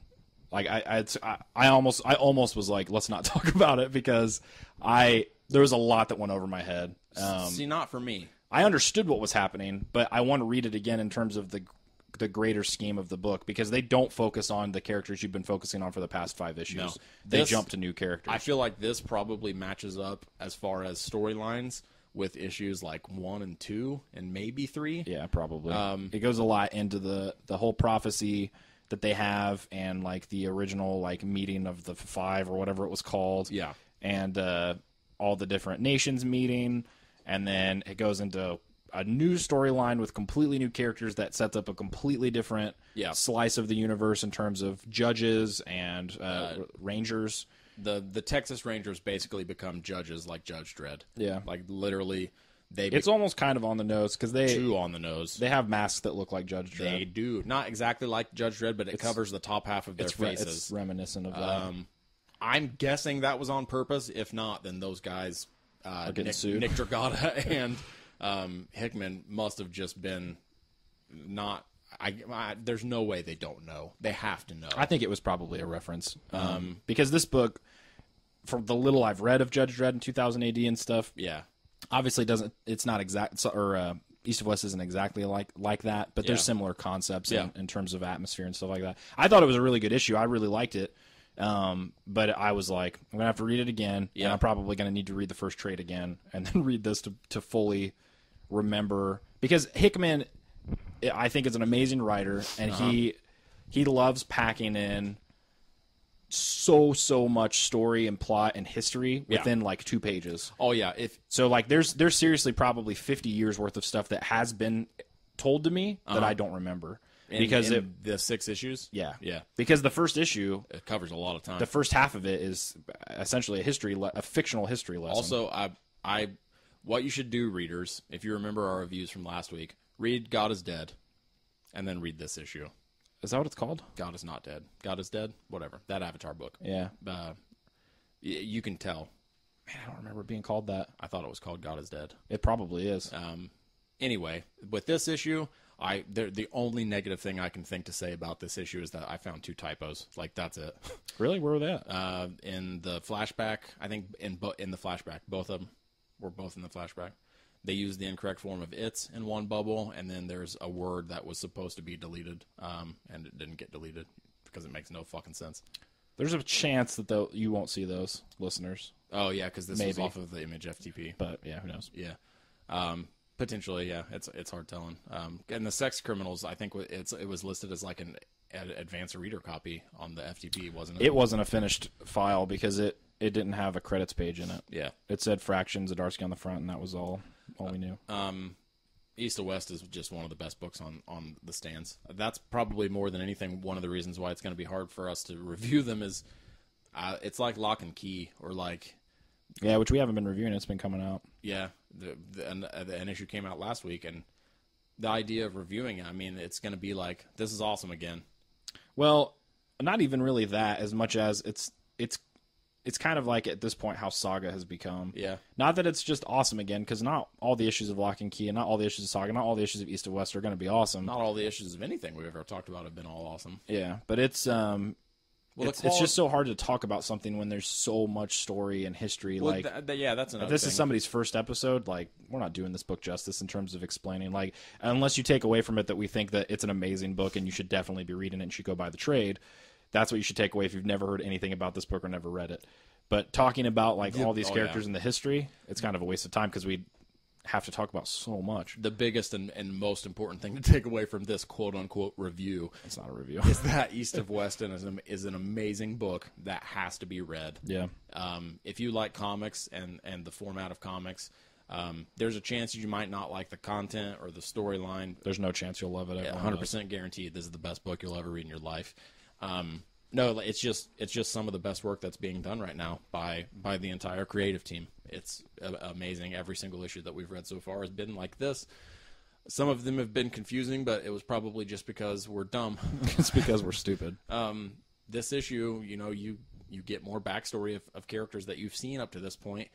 Um, and like David said, this is obviously the beginning of another storyline, and it's another it's another like layer to the world that this team is building. And um, this issue has one of the grossest and scariest things I've seen in a comic in a while. Um, That judge. the judge is pretty gross, but the the thing I'm talking about is that like demon Oh, that comes out. tentacle mouth. Like, oh, The panel where that dude gets his head blown off is pretty awesome. it is. Um, I have a really. This is gonna sound. This is gonna sound earlier, like when you were like, Man, I, was wish like, I want to see more pussies. there's more Bush in this book. like, um, the I really That's like. gonna come back to haunt me. I really like. out of context. I really like within the terms within um like, uh when they can stylize. Uh, like wounds or violence or something within a comic to where it doesn't look how it would actually look. Oh yeah, So, but they draw it in a way like, yeah, like that guy's head getting blown off. It's literally getting blown off. blown off, and then what you can see of it happening is like if you were to if you were to actually blow someone's head off. Correct. How, Like how has it looked when you've dreamed of it, uh, it, it wouldn't it wouldn't look like that. It's like uh, akin to the same or like the same concept. Um, like when Jock draws lights, Yeah. like lights off of police sirens. Almost like a flare. Like well, a- like he draws What's how- like geometric shapes. it's like Mignola with flames, kind of. Yeah, it's not w- something they could easily do. They could have the colorist just make like a blur effect or Yeah. like something on there. He'll draw it out, and the way um, Dragotta does it in this is just so so stylized. the art in this book's amazing. The way the coloring, um, the way the coloring shows you that you're in a flashback. Yeah. it is so subtle and so immediately recognizable. Um, I don't, I can't remember which issue did it first, but I was going to say, I think, I mean, I agree with you, but I think we might be off with. what's it, Yeah. they basically taught you in the very first Yeah. issue. Um, this is a flashback. yeah, what you're seeing, and at this point, it's just, it's really not a, a, a big difference in the coloring. It's No, not really. kind of a, a very Well, mi- and then- minimal filter. And then once you, um, was okay. Well, I, this is another reason why I think I need to read it again. Where the dude, where the dude shoots the judge, is that flashback? Yeah, See, okay, so that's not the coloring's not changed there. yeah, it is. No, it's not. From what I read, it was. No, it's not because they the, when they first show the judge and they first show the proceedings, um, it's it's colored in, in this flashback right here, like the grays and the reds, and then immediately this stuff, like No, it's got the flashback filter over it, man. yeah, but this right here is the That's like th- that's a flashback within the flashback, and they use the gray Oh, yeah. and the black stuff. Yeah, to so they switch it. it. Yeah, they switch it, but it's not. Um, like at first, it was enough that I was like, "Oh, is this present day?" Because the page right before is gray and black. But then as soon as you get into it, you realize that it's still flashback. Yeah. That way, you don't have to sacrifice coloring for like because flashbacks are a significant part of this this so, issue. So wait, did you not know that that judge stuff was a flashback?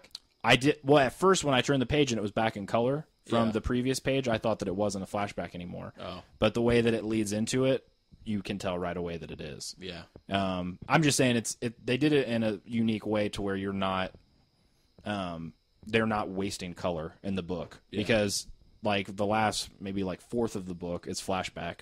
So rather than just have like you know seven black and white pages, Yeah, they can still have Frank Martin do his coloring, which is really good. it is. It's a lot of there. This is, there is a lot of flashback in this issue, and also, did you notice that Daredevil's in this scene? that's what he looks like. that looks like Daredevil. um, it's a pretty hardcore uh, issue as far as death and murder goes. Yeah, I mean that's nothing new. No. for this series. I just love this world so much, man. Yeah, Um, this- this I is, mean uh, Earth, like us, like right here. And I just right love now this world, man. This room. This, along with um, the other obvious favorites of mine, is up there, man. It's in my top five right now with current books coming out. I, Yeah. I'm always excited about it. I need to uh, I need to get caught up on um, his other book, Manhattan Projects, because I'm super super Yeah, behind on it. I've only read the first trade. Uh, I think I've read the first issue. That's it. I think so. Oh, really? Yeah, Uh, what do you give it? I give it an eight. Uh, yeah, I give it an eight too. Great, great. And now a special news bulletin. Hideous Energy thinks you should read this. You should fucking read this is the name of the segment. It's dirty language. So I'm going to title everything from now on. Dirty language. You're going to find out why. Why? Tell me. That's your segue, dude. Do it. Uh, yeah, I didn't Take advantage. We were going to go straight into it. Um, can you hear the crickets, listeners? If you can, it's ambiance. Uh, it, it this is Indicative of uh, our jokes landing. Another yeah. very cliche use of cricket noises. uh, in this case they're just reg- regular real life crickets. the windows are open. They are. Uh, in our car because we're recording in a field. We're not. Uh, Indiana's a field. It's one big field. you should read this. America's butt field, Indiana. in America's butt field. That's what I chose to say. Choices that I made just now. Good job, man. you should read this. I'm picking The End of the Fucking World by Charles Forsman. Um, potentially it's called The End of the Fucking World, but I like to drop that G. Maybe it's because I'm from the Midwest. Maybe not. Don't know for sure. Unfortunately, that actually is the name. You're not just adding a word in like end you did before. No, no. The, the, That's the title. The real title of the book is The End of the Fucking World. On the book and also online, it's T E O. F T W. Yeah. Um, probably smartly in, in their case. I don't understand or like that. That it's called The End of the Fucking World. yeah, it's like that band too. Like, What? um, Godspeed You Black Emperor. no, Star, uh, Starfucker. Star, Uh, yeah, it's unneeded. it is. Um, I just feel like it would be, um, you limit yourself immediately. Like, you do. Well, that's the thing is they limit themselves because they titled it at the end of the fucking world, but they immediately found a workaround by labeling the book T E O F T W. But that limits you Yeah. because then Tiftifa? Oh yeah, like a reader's going to look at your book and be like, either they're going to be curious, Yeah. or they're going to immediately be like, Oh, I, I can't read whatever that's like that's a that's Russian. I, that's not my language. I don't understand. yeah. Austin, no compute. Austin, no compute. Yeah, thank you, David. You're welcome. Thank you. this is a book uh, that we both got at SPX. We did under false pretenses. Um, False pretenses. I told you uh, because I had read a review of it. Oh yeah, that it was about the apocalypse. Yeah, it was either a Twitter review, which is obviously very short, or I, some website was talking about this book, The End of the Fucking World. It might even have been that the BBC had just recently started filming the the adaptation of it because that is a thing that has happened and is going on. What really? Yeah, Of this? yeah. You didn't know that? No. Yeah, it just got picked up by the BBC and they just started filming. Ah, Yeah. why? Why? I don't understand your question. I mean, we'll get into the book in a second, which we both liked. Let me preface it with that. We did. Um, I, it's, it's going to be like 20 minutes long. Like, there's not a whole lot of substance to this book. Is it a mini series or a movie or a TV show or what? I think it's a mini series. I don't think I don't think it's an, choice. I don't think it's an ongoing series. If it is, then they're adding a lot. Man, that blows my mind. Is you're- the last book in the world I would think that Not me. BBC Uh, would do. Would it adapt or what? Adapt. adapt. uh, no, I mean, I, if somebody was like, the BBC is adapting Josh Simmons' Cockbone, I'd be like, hold the fucking phone. I meant I meant literally. If I could, I could think of no other book. So That's what I thought you meant. Why would you say it if you didn't mean it? because it's just an expression. I didn't mean actually the literally the last one. You're a liar. Okay. David Clarence Hopkins is a liar. All right, man. I want history to remember. Um, first of all, it's not about the apocalypse, um, not in any sort of literal way. Um, that's what I told David after I read it because I think I read it like a day before you did. I texted you immediately and was like, "I liked the end of the fucking world. Either I misread the review, or somebody was being very metaphorical." Yeah, I don't really understand why it's called that. I mean, I guess I kind of um, do. I can see why thematically Yeah. it would be called the end of the fucking world. It is the story of two teenage kids who fall in love. Um, one of them is a severely mentally damaged, emotionally damaged. Arguably, both of them are. Yeah, uh, the the I man, would say that they the, both are. One obviously more than the other. yeah, but- the boy in the situation is is a sociopath um, who likes to kill animals and um, hurt himself. It's ba- it's basically all of those warning signs that you see, or, or things that you see, uh, cr- like criminal profilers talking about Serial killers. serial killers. Like these things that these are the things that serial killers do before they become either brave enough or like ready to kill a person. Like they'll torture animals, they'll self mutilate, they do all of these things, um, and that's what this kid's doing. Um, and then he finds a girl who she doesn't have anything specifically like sociopathic about her. She runs away from home um, and hooks up with this kid, um, and I guess that might be one of the reasons why she could potentially be emotionally damaged, is because she finds something in this kid. Um, it's a very spare book, um, both Yeah. from art and story. Um, which I think Charles Forsman, from what I read, because not only did we buy the end of the fucking world when we were at SPX, but we also bought working on the end of the fucking world uh, a zine that Charles Forsman made uh, about the process of making the the comic, um, which I guess it won best mini comic at the Ignatz. Um, The making of it. no, the end of the fucking Oh yeah, um, which he published. I think it did. He had published through his comic, which is Oily Comics. Yeah, Um, through his publishing like press. Yeah, yeah, he has his own his own publishing press called Oily Comics, which apparently they sell their stuff for super fucking cheap. Like actual printed versions of all their stuff is available for like a dollar. Yeah, I mean they're they're mini comics, like they're little, like not mini comics in the like mini comics is a broad term, like it can It mean is. a lot of different things. But like when I think about mini comics, that's what I'm thinking of, like they're really small, Like a zine. like yeah, well, I mean that's so yeah, broad yeah, too. Yeah, it's all they're all subjective. But like the um like the, it's like it would be like the quarter of a piece of paper then folded in half, like real little. Yeah. And they had a bunch of those at his uh at his booth. Yeah. Um, in that in that working on the end of the fucking world uh, mini comic, he talks about wanting to do something very spare and something very different than some of the other stuff he's done, where line work is almost just nothing, and you know for the most part that's what this book is. I wonder why they didn't that would have been Gr- like gray tone it no. I wonder that would have been awesome to have in the book. to explain that. Well, no, no, no, just to have that extra content. Yeah. Like that's I wonder why they didn't. Fantagraphics is the one who published. Yeah, Fantagraphics picked book. it up, which is weird that he wouldn't. I don't know. I guess I don't understand enough about Oily Comics because this was the first time I'd ever heard of them. Dude, I have okay. This is pure speculation. Okay. complete speculation. I have nothing to base this off of, so let that be a disclaimer. Great. I think that he is secretly a goat.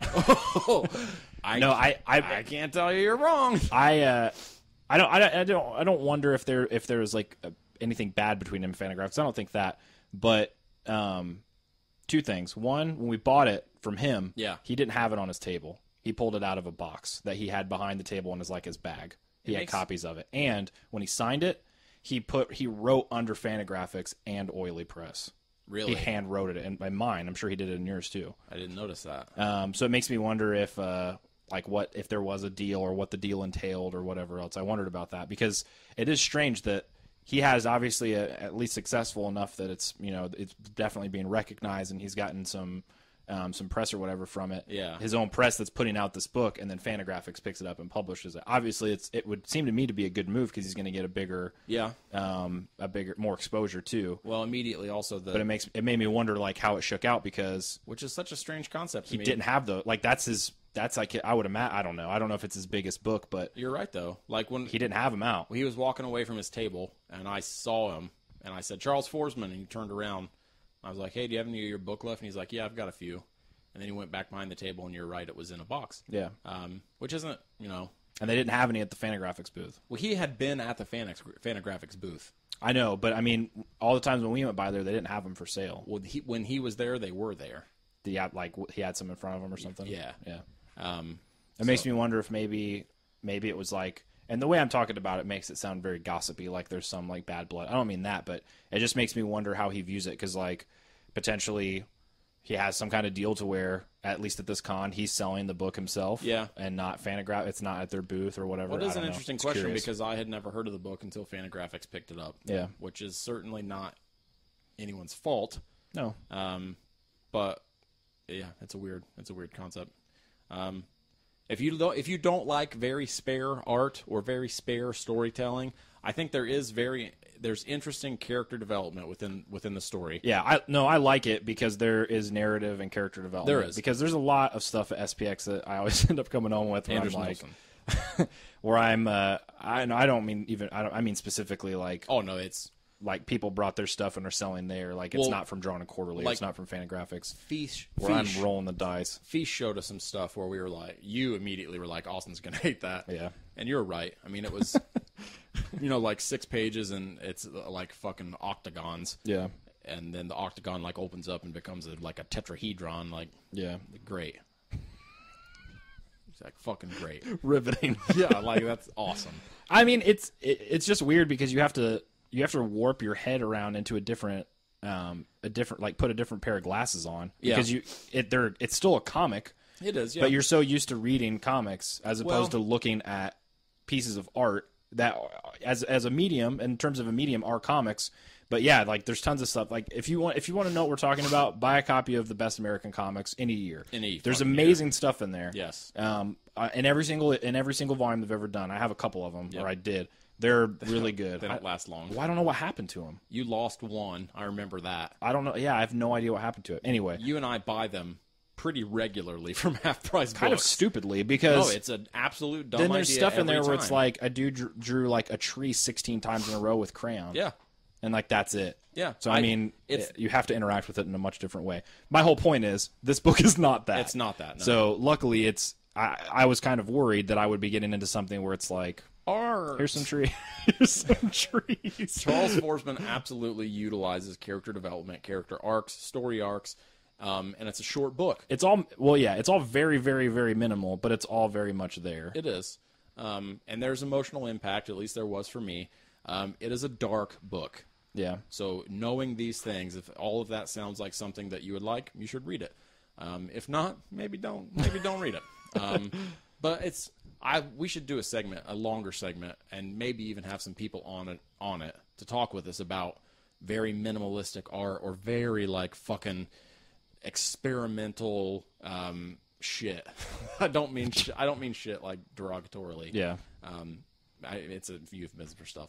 Um, for like the sort of like impressionistic stuff because that's something I have a very hard time with. Is Yeah, I- not only that There's stuff. some, it happens all the time at DCBS where we're like, ooh, look at this cover, and you flip Pretty. through it and it's like pictures of birds, yeah, and sometimes like pho- like photography, Yeah. of birds, Uh-huh. and it's and it's a quote unquote comic by But Drawn there, and yeah, Quarterly. there will be like a, a, a word balloon every sixth page, and it'll be like, ha Yeah, and like on on a good day, I'm like, oh, okay, I don't like this. This isn't for me. On another day, On I'm like, day. this isn't a comic. no, on a, on a bad day, many many Just- harsh words are said. Just the most disgusted responses. Well, I have a I have a hard time with that stuff, uh, which we talked about with Stephen Christy and all those guys when we did the Archaia show at Chicago about comics that either are visually driven and not necessarily narratively uh, organized or driven by narrative. I have a hard time with that. I do too. Um, but then I also have a hard time with that stuff where it is the Johnny Ryan like prison pit stuff, where I guess Josh Simmons might be in that in that troop too. Where Michael DeForge. yeah, this like very, very kind of like harshly, almost like visually antagonistic stuff. Yeah. Where, and I don't even mean content wise, um, although that's what I think of when I think of Johnny Ryan. Like, just like people getting their throats slit, Yeah. like really gritty, um, gross Yeah, I think stuff. of Josh Simmons. Um, That's the guy I go to. That's the kind of stuff that I, I have a really hard time with too. So I think it'd be cool to talk about that sometime. Um, figure out my feelings. Sure. One one thing, and we normally don't go off on tangents, so I apologize Never, in advance. Um, that I- it's been on my head a lot, and this is just kind of kind of connected to what you're talking about. Oh, Um, in reality, not really at all. But I wanted to talk to you about it because it's been on my mind. cool. Um, Let's do there might be some of that in this book, And um? And uh, the Into of the book. Into yeah. the fucker world. the uh, the idea of shit like building and defining and showing character through only visuals, um, and, Without- and I mean about visuals, the visuals of them, in terms of like what they look like, Oh, you mean they're physical characteristics, like changing their physical appearance? or or things that are there that aren't explained or talked about, or like to give you an example, like uh, in Glorious Bastards, Brad Pitt's character With Aldo the- Raine the neck. has a neck Yeah, a scar, scar. like he's been hung. Yeah. Um, it what got me thinking about it was Amanda and I went and saw that movie Prisoners that's in theaters right now, Uh-huh. and the main detective in it, played by Jake Gyllenhaal, I absolutely loved. Yeah. And I, and I can't believe I've never fucking heard of that movie. I'm so pissed off. and in and in terms of the movie, Yeah. you find out one thing about his his past. That's it, and it is a sentence. Yeah. He has about six different facial ticks. He has he's covered in tattoos, and a lot of them look like they were done by himself. Hmm. And he buttons his top his buttons on his shirt all the way up, and buttons the top button and doesn't wear a tie. And there were all these little things in the movie that I would notice over time that got me so obsessed with his character and Like like, who was he? infatuated. There's one line where he talks about how he grew up in a boys' home, and that's the only bit of information you get about him, other than what you learn in the movie about his like present character. Yeah. But then it got me thinking about any other situation like that where we've seen in movies or comics or whatever else where we are given one piece and it's not explained or whatever, but it indicates immediately that there's some type of past there Yeah. um, that particular thing I looked up later, and the writer, which this was crazy too, the writer of that movie, and I'm completely forgetting his name. I'll look it up as we're talking about it. But it this was that script for Prisoners was on the Hollywood blacklist or whatever um, for a really long time, which is the the list of like unproduced screenplays that people say are completely awesome, but that they just can't get made. Yeah. like Chronicle was on there for a really long time. I think Stranger Than Fiction was on that same kind of list for a Really? really long time. Yeah The movie's so good. Um, and uh, this dude until this movie got made was uh, stuffing envelopes in New York in an office, really? and then like this movie got made, and That's not what you you didn't need to search for that. no, I have to hit designation. um, his name's uh, Aaron Gizkow- Gizkowski. Gizkowski. I'm so pissed off. I've never heard of this movie. Like just continually, the second you told me you had seen this, I was like, "What are you talking about? Why don't you fucking shut up and quit making shit up?" But I, I looked it up. and There's an interview with him, and he talked about how uh, Jake Gyllenhaal did all of it, Really? all of that stuff. Made He's- all of that up? he said he said that he asked the writer about some stuff, and the writer was like, "Here's what I have about his character, like these things," and then Jake Gyllenhaal did. He was like, "I want to wear, I want to button my shirts all the way up to the top. I want to do these tattoos." He has a Freemason's ring on, um, That's crazy. and figured it all out. And it's he has these facial ticks, man. Like I his, love Gyllenhaal. I do too. His, love him. his performance in it is so awesome because it's why- so different than in Zodiac. I kept thinking of him in Zodiac. Zodiac because he's so different in Zodiac. It's so good. You absolutely need to rewatch Jarhead.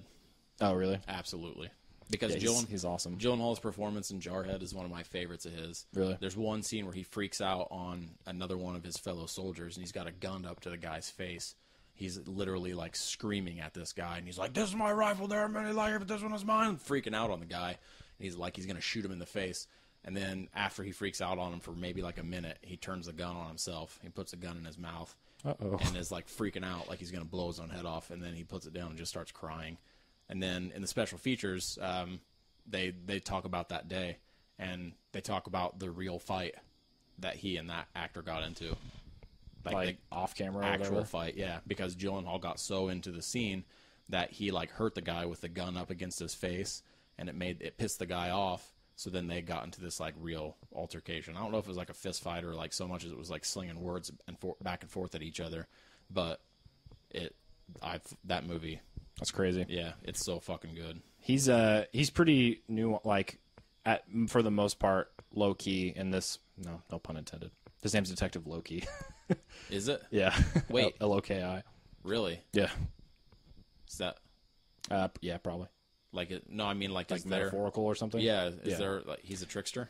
Uh, well, he's not really a trickster. There's, it's a pretty interesting. I really liked the movie a lot. The la- the third act, like, it gets pretty. That sounded like there was a butt coming. no, no, no. I really did like it. The third act does get kind of expositiony to where um, people are like, and then I did this because of this, and they're kind of walking you through Oh, it, like which kind of sucks. Yeah, because well, not so much monologue, but it's just kind of like walking you through what happened, plot. which they weren't doing before. So that kind of I didn't like that because there's some people that have big problems with it. Most people really liked it, um, but it's the uh, oh another thing that's crazy when I look at her like pictures and when I think back in my memory of watching the movie, I realize that it's her. But I watched the whole entire movie not realizing that um, uh, what's her name? Melissa Leo was in it. really? yeah, she plays this old woman, like a 60 year old woman. It's because she is She's great. a changeling. And uh, She's like, from whatever planet. but it's that weird, though. The She- dude from Last of the Mohicans. I was going gonna say, it's not like him and Lincoln where you're like, oh, that's not him. He's gone. That's Lincoln. it doesn't even look like him. It's not like that. You can tell it's old her, Daniel Day Lewis. Daniel Day Lewis. But when I was watching it, I wasn't like, oh, Melissa Leo. I was like, oh, it's an old woman. It's a crazy old woman. Uh, it's a good movie. That's not what I'm going to talk about. No, you should read something. Uh, I'm going to talk about the Secret History of DB Cooper, which is a book that we uh, reviewed the first issue of, and then subsequently named the episode "Dr. Seuss's Underwater Hell" Yeah. because of that comic. Was it because of that? Yeah, because um, uh, this book by Brian Churilla, he wrote and illustrated it, um, has DB Cooper, this famous uh, robber Real life, Dude. Real life robber. who uh, jumped out of a plane with how many? Was it like a million or two million or something? I can't remember. A lot of money. He jumped out of a plane and they never found him. No one knows what happened to him. Um, so Brian Churilla uh, takes that and mixes it with like some Mignola Hellboy Some really fucked up shit. slash crazy gross stuff. Acid trippy stuff. Um, and, and literally acid trippy because Yes. what you find out in the first issue is that DB Cooper worked for the United States government Yep. and did this thing where he would take this drug and it would take him into this other world and he would kill monsters and that would kill real life uh, communists. Wasn't there a bear the Cold War. like a teddy bear? There is a teddy bear what was thought. bombing around them in the other world. Um, I, I'm not going to tell more than that. Realistically, like it's the the thing I liked so much about it is that to me, I was very worried throughout the entire book that he wasn't going to stick the landing. I was like, and no pun intended, because he jumped out of a plane. I don't mean that. I mean Brian Churilla. Yeah. that he wasn't going to be able to have a, a satisfying conclusion. Tied up. Um, well, and I liked it quite a bit. The art is amazing. Uh, the writing's really good too the coloring is one the of the coloring's I great. Yeah, it's it's a it's a really good book. Um, it's I had my qualms at first about Oni publishing it in this giant hardcover. It is bigger. It, it's yeah, and I, at first I was like, oh great, I'm gonna have to pay more money now because it's it's a hardcover and it's so big. Yeah. I think it's like twenty five or thirty bucks. And then when you found out that the price wasn't a big deal, then that's when you moved on to worrying about the size of it on your shelf.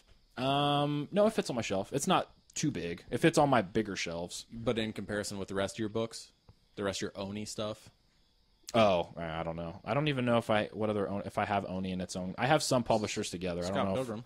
yeah, but I don't know if I have enough Oni stuff to that I put it together in one thing. Queen and Country, you might I only have one Scott Pilgrim book right now, though.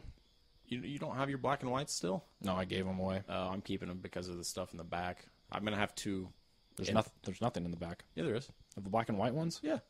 There's a playlist in one. There's some pages in another. So like altogether throughout six volumes, there's like four pages. Well, yeah, but it's stuff that's not in the colors, uh, the colored editions. Oh, I don't need the playlist. I guess I don't care. Oh, I, I wanted to keep them, so I I didn't ask, so I don't care. thanks, man. I, yeah, I don't care about you either. So stop talking about stuff. It's fun. Um, the uh, oh, also I didn't care about the price after I remembered where we were standing uh, because In it was discount comic book service. Yeah. Um, but in this case, it it works in favor of the book because the art Well, is does. The size. Oh, the size. the size of the paper, the size of the book, because the art is so good. It is so detailed. Um, I read it. I like. I started reading it one morning. I was like, I'll read a little bit of this before I go to work, and I read the whole thing. I Sat still need to it. finish it because I remember when we reviewed it. We only read one issue. Yeah. Unless you read more, because when I finished the first issue, I was like, oh, this is all new. Nope, I don't remember. Uh, I don't even remember the whole first issue, other than the bear and the acid stuff. Yeah. Um, also, like I don't even think we ever got to the part where he actually jumped out of the plane. No, that's the that's the last page. There's a dog in the field with us now. Yeah, that's the very end. That of the entire series, yeah, that that it's I a like- six issue I like miniseries. Yeah. Oh, I that's like- what I was getting ready to say. I like that a lot. mu- it's not um okay so I, it was either last week or the week before we talked about RASL Yeah. and how if you love Tesla and you love history you'll love RASL. Yeah. If you want to read history of DB Cooper, Not this don't book. read this because the idea of this guy that got away with a crime by jumping out of a plane, a guy jumps out of a plane and his name is DB Cooper. The entire That's rest of it. it as far as I know is is fictionalized. So if you dig if you dig on on Hellboy, there's a Mignola quote right on the front. Like Yeah. I mean it's it's uh it's very much that style. Well, I'm very happy he didn't. It wasn't that he set out to be like, this is what really happened with DB Cooper. Not that that couldn't be interesting, but that doesn't immediately grab my interest just because that's one of those things that people have been doing since DB Cooper did what he did. Yeah, I mean, it is. It does answer that question, but it is in such a way that, Like, like, who is DB Cooper? no, I mean, it answers what happened when he jumped out of the plane. Oh, yeah. but the answer is is obviously so fictional yeah. that it's not even anything. Normally, that, if someone is going to be like, what happened when DB Cooper jumped out of the plane, the answer would not be, he entered into the alternate world that he uh, likes to go into with his teddy bear. there's one thing that has always stuck in my head too. Like since then, I've I've thought about it. He has a prologue that's after the the series is done after the six issues last page. That's what a prologue is. Um, no, that's an epilogue. the the prologue is after the book's done, not at the beginning. And so That's an epilogue. Yeah, but it's a but it's a prologue to the book. But he could not put it at the beginning without spoiling. oh, what happened? Yeah, but it's like three or four pages that he wrote and drew, and um, it says I don't know. It always stuck with me because it's such a it's a really when you wa- when you read it, it's such a cool like emotional beat. But um, yeah, if it would have been at the beginning, it would have ruined the Spoiled entire book. book. So it's interesting. It's got a lot of special features and stuff um, in it too. So yeah, I'm super fucking up. pumped to read it. I'm gonna get um, this is unrelated other than Oni, but Oh, cool. um, Stumptown Volume Two finally came out. I'm so I've happy. been reading that. I'm so fucking happy. I hope it has a bunch of features on the back, I do too. like the first one did. That was one of my favorite parts of that hardcover. that whole that whole that's just one of the best one of the best like packages, just all around comic book packages. That Stumptown hardcover from Oni is good. just amazing. That's my. Uh, we've already talked about this. What? Favorite Greg Rucka book. Uh, Stumptown? Yeah. Without a doubt, mine too. That um, His Batgirl stuff is Batwoman, probably, yeah. or Batwoman is probably pretty close uh, to being second though. Um, I'm not sure. Oh, Gotham Central's up there too. oh fuck, Yeah. that's not a, that's not just a Rucka book though. He does that with other with other writers. Yeah, I know, but he they didn't. I think maybe one arc in that they co-wrote. That's a book that everybody attributes them, but they alternated arcs. They're Yeah. they're credited as Well, they that- had day shift and, and night shift. But Like I mean, I guess in that case, then I mean they're affecting each other's stories. no, it's it's still entwined, but it's uh it, it's different enough that you can tell. Yeah. Like when you're reading the the Rucka arcs, they're very different. yeah. Um, it, I mean, obviously not in huge ways. They're not like dinosaurs during the night shift, but like you can tell that it's not Brubaker writing it and vice Yeah. versa. Man, that series is so good. Yeah, it is. We need to figure out what we're going to do next for Club Book. No, man, Oh, we don't figure this stuff out. We just let it happen. oh, okay. I mean, life. Oh, oh well, that's true. Well, don't know where I was going with that. it is though. Have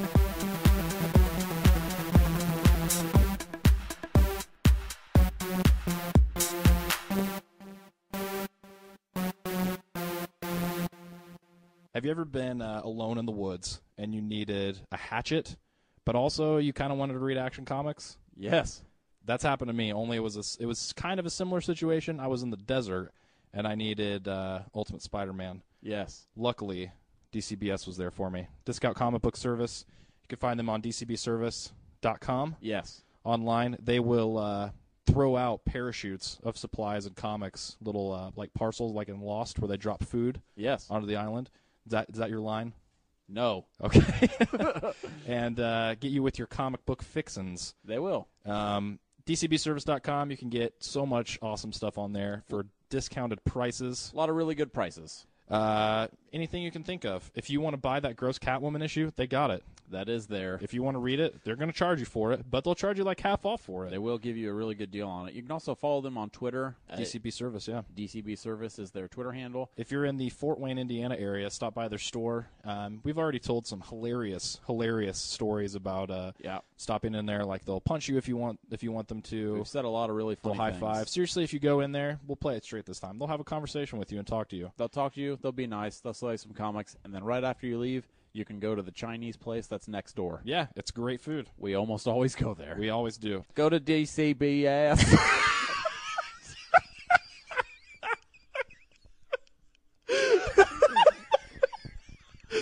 Go to DCBService.com and get some comics.